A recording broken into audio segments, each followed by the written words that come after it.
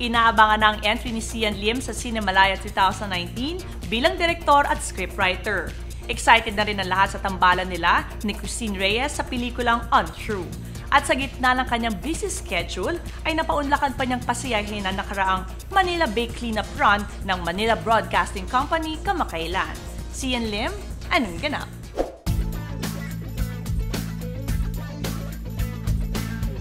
Natutuwa ang talented Chinito actor sa pagkakasama niya sa event para makatulong sa kalikasan.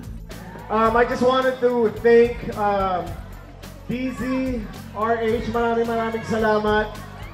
And uh, to all the runners, kamusta po lahat ng runners ngayon? Hangad din niya makalahok din siya sa actual run ng taunang marathon for a cause. Kung may taong dapat na mahalin ay walang iba. To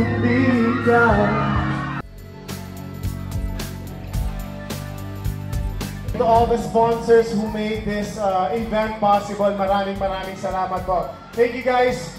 Hope to see you next year.